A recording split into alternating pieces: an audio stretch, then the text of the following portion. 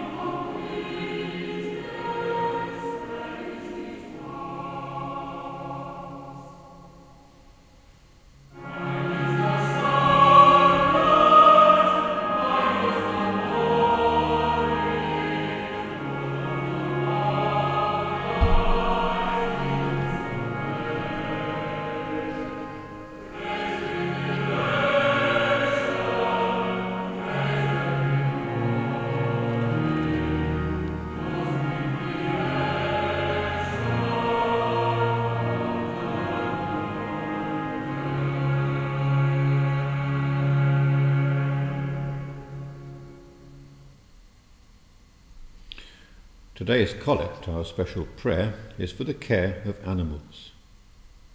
Blessed are you, Lord God, for you have made every living creature on the land, in the seas, and in the air.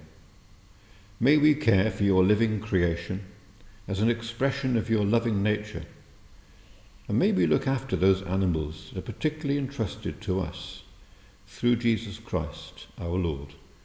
Amen.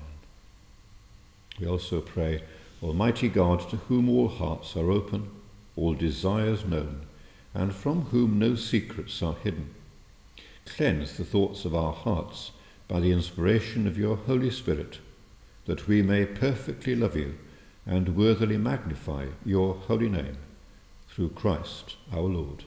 Amen. If you'd like to get hold of a piece of bread, we are going to be sharing that later in the service. So it's up to you if you want to get it ready at this stage. The Old Testament reading is from Isaiah chapter 11, verses 6 to 9. It's a vision of creation living very much in harmony. The wolf will live with the lamb.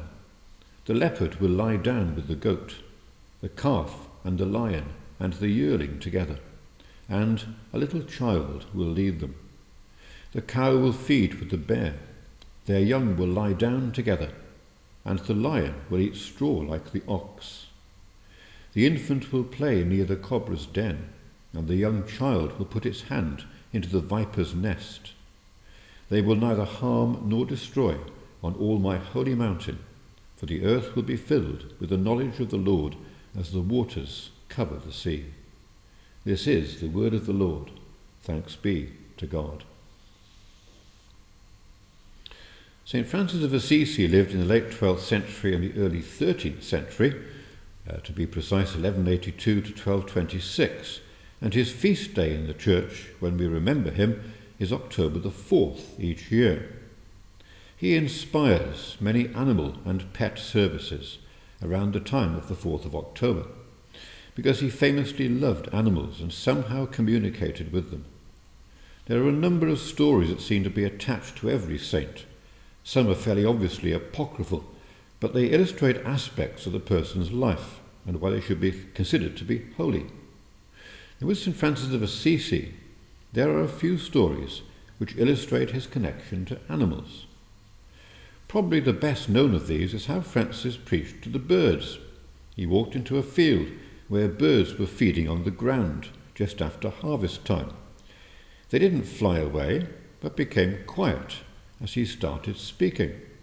He said, My little sisters, the birds, you owe much to God, and you ought to sing his praises. He has given you liberty to fly. He feeds you. He gives you the fountains and the rivers to quench your thirst. He gives you mountains and valleys in which to take refuge and trees in which to make your nests. God, your Maker, loves you, so always give praise to God.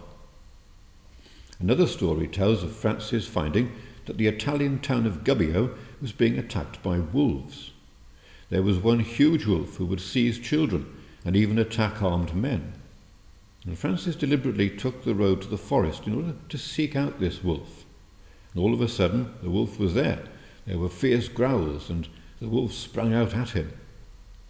Francis made the sign of the cross and spoke quietly.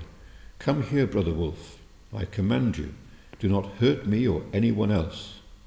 The wolf hesitated, then came forward and lay down at his feet. Francis continued, talking gently. I know that you only behave so badly because you are cold and hungry. I will look after you. I will ask the good people of Gubbio to put food out for you, day by day. But you must promise something. You must promise me never to hurt any animal or human being in the town ever again. The wolf sat up and raised his head and lifted his paw. Francis took it with his hand. Then Francis walked towards the centre of the village with the wolf trotting at his heels. The villagers were a bit alarmed to see the wolf in the main square. Francis explained that they must put out food for the wolf every day and in return the wolf would behave peacefully. He turned to the wolf and said, Brother Wolf, show me that I have done right to make this promise in your name. And the wolf again put his paw in Francis' hand. The story continues that the wolf kept this bargain, not hurting anyone. In fact, he became known and loved by everyone in the village. Now, the point of these stories is that Francis saw every animal as a brother or a sister created like him as a child of God, and he seemed to be able to make a special connection with them. Our Old Testament reading today from the early prophecies of Isaiah contains these words Isaiah 11, verses 6 to 7. The wolf will live with the lamb, the leopard will lie down with the goat, the calf and the lion and the yearling together, and a little child will lead them. The cow will feed with the bear, their young will lie down together, and the lion will eat straw like the ox. Now, that's not quite how life tends to work today with animals and people. This golden age is obviously still to come, when peace reigns and children can play safely with formerly dangerous animals. But there may be glimpses of this in our domestication of animals, and in that story of St. Francis and the wolf. The reformation of the wolf's behaviour comes about because he senses that a human being understands his needs and indeed provides for him. He is now fed by the people of Gubbio, so he can live in harmony with them. When we domesticate animals, we make them less wild. Our cat will still sometimes catch a mouse. She still has her natural wild instincts, but she doesn't need to do this for food because we feed her. Domesticated animals don't need to be wild. Maybe there's something about taming animals that is in line with God's desire for the harmony of this world. The text from Isaiah 11 might indicate this. When our various pets spend time with us, we both gain from that relationship. Sigmund Freud once said, Time spent with cats is never wasted. One thing that should come out of all of this is that our vision of life should not be only about human life. A healthy balance of nature is indicated in biblical texts, such as Romans chapter 8, verses 19 to 21. For the creation waits in eager expectation for the children of God to be revealed. For the creation was subjected to frustration, not by its own choice, but by the will of the one who subjected it, in hope that the creation itself will be liberated from its bondage to decay and brought into the freedom and the glory of the children of God, the whole creation. Such a consideration is not only important, but it's actually quite urgent. The International Union for Conservation of Nature, the IUCN, in its data gathering work has identified over 42,000 species threatened with extinction today. This includes different animal groups on land, sea, and in the sky amphibians, mammals, reptiles, sharks and rays, crustaceans, reef corals, and birds, and plants, including conifers and cycads. They have a red list of all these endangered species, which you can find on the internet. Also, the World Wildlife Fund has a list of the 10 most endangered animals, including rhinos, leopards, tigers, gorillas, orangutans, porpoises, elephants, and turtles. News reports have highlighted the UK situation quite recently, which has a number of causes for concern plants and animals, including pollinating insects. So, a consideration of the needs of all creatures, great and small, today is implied by a theistic view of life. If all life comes from God, we need to respect all life. If we have a pet animal to look after, we have particular responsibilities for its care. Of course, we benefit greatly from the company of our pets. It may be where we learn most about unconditional love. The hymn All Things Bright and Beautiful suffers from being a bit too well known. The words are by Cecil Frances Alexander, and they were first published in her Hymns for Little Children in 1848. And here it sung to the well known tune composed for it by William Henry Monk in 1887. It reminds us of the goodness and variety of God's creation, its various animals and various seasons, all things bright and beautiful, all creatures great and small.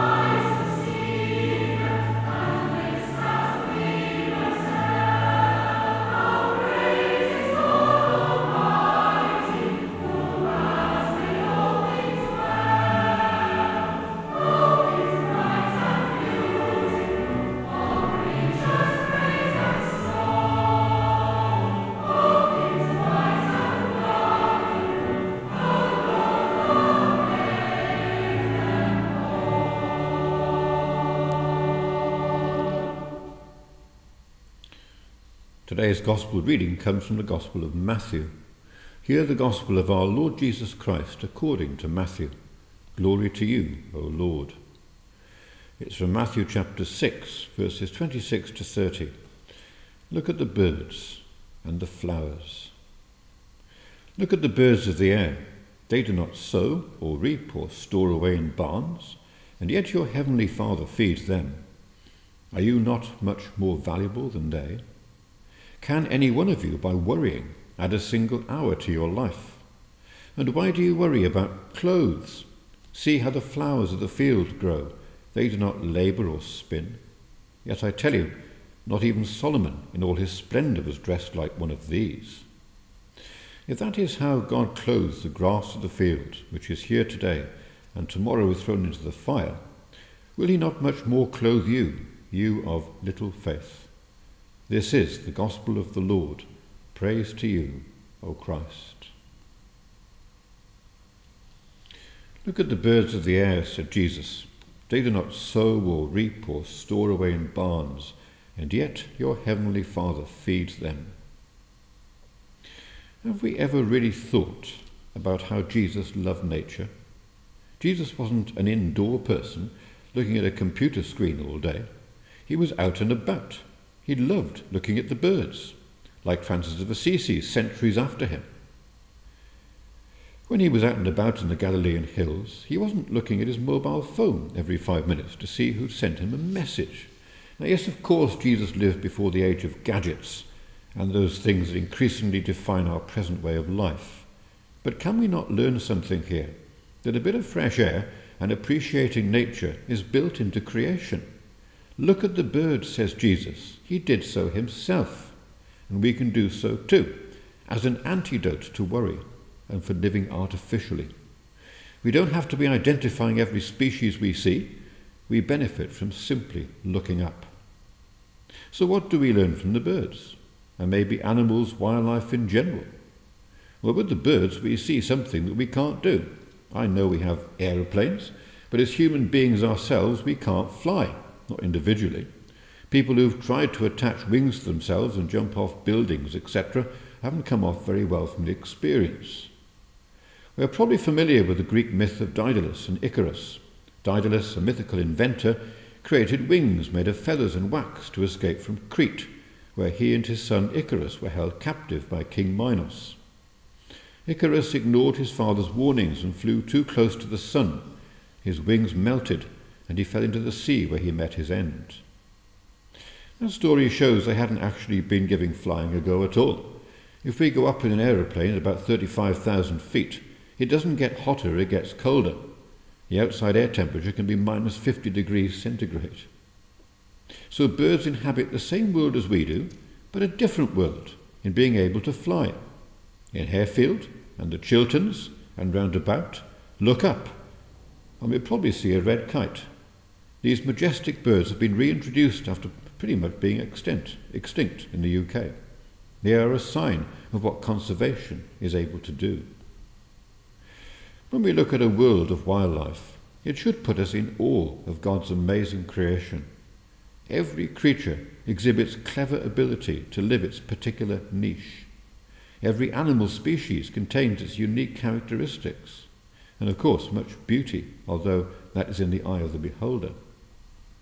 Jesus spoke about the birds of the air, the flowers of the field, in the Sermon on the Mount in Matthew's Gospel, to encourage us not to live a life of worry. Animals don't seem to worry. That's a human speciality. So if we are prone to do this, to constantly become worried, that's another good reason to look up and look around and to see the glory of God in the biodiversity of planet Earth. Let's live that our children's children can appreciate it too. And if we've had the good fortune to own a pet, we'll have discovered how individual animals they can be, how they have their own unique characteristics, how they can become very close companions in our daily lives. And of course, we really miss them when they're no longer with us. The song, If I Were a Butterfly, was written by Brian Howard in the 1970s. It pictures various animals thanking God for what they are and what they can do.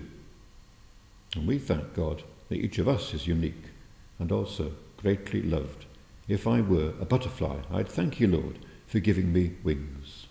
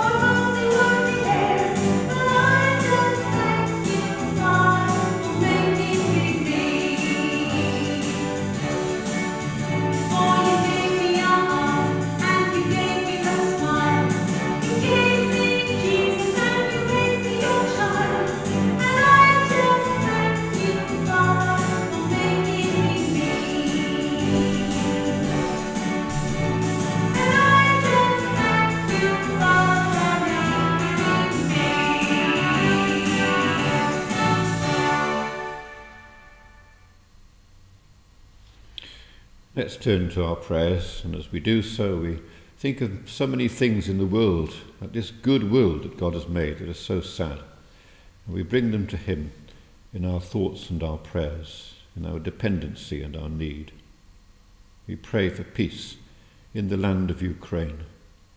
Lord, we bless you for your good world with all its sadnesses. Continue to pray for Morocco and for Libya and the people who've been devastated in both of those places. Lord, we bless you for your good world with all its sadnesses. We pray for those involved in the M53 school bus accident and for the family of the driver and the schoolgirl who were killed. Lord, we bless you for your good world with all its sadnesses. We pray for our animals, both wild and for our pets that we may live carefully and lovingly, that the whole of the animal creation might live abundantly and in unity with the human population. Lord, we bless you for your good world and all its creatures. We pray for the Armenians fleeing Nagorno-Karabakh since it was seized by Azerbaijan last week. Lord, we bless you for your good world with all its sadnesses. We pray for those who are ill at this time. We pray for healing, particularly for Anna. Barbara Leake, Barbara Ann, Kath O'Gorman, Christopher Costard, Dominic, Gareth Williams, Helen and Mark, Jarlath O'Connell, John Butler, John Green, Josie Spinks, June Merritt, Lewin, Neil, and any others we know.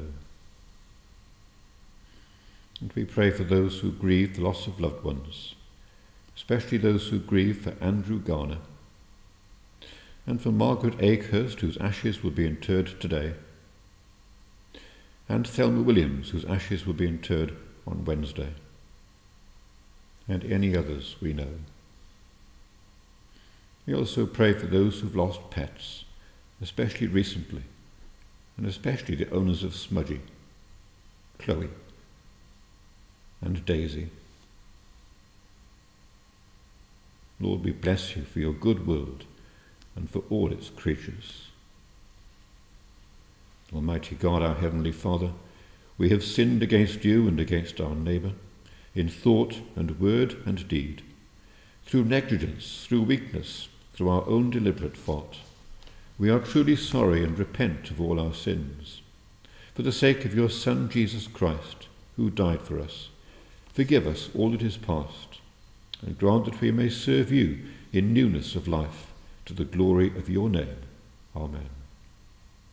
Almighty God, who forgives all who truly repent, have mercy upon you, pardon and deliver you from all your sins, confirm and strengthen you in all goodness, and keep you in life eternal, through Jesus Christ our Lord. Amen.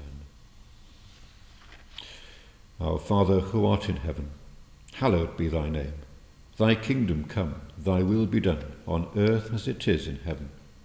Give us this day our daily bread, and forgive us our trespasses, as we forgive those who trespass against us. And lead us not into temptation, but deliver us from evil. For thine is the kingdom, the power, and the glory, for ever and ever. Amen. The hymn All Creatures of Our God and King is based on a poem written by St. Francis of Assisi in the year 1225. It was entitled The Canticle of the Sun, and it's based on Psalm 148, which calls on the whole of creation to praise God, its Creator. It was translated into English by William Draper, a clergyman who paraphrased it and set it to music. All creatures of our God and King, lift up your voice and with us sing, Alleluia, Alleluia.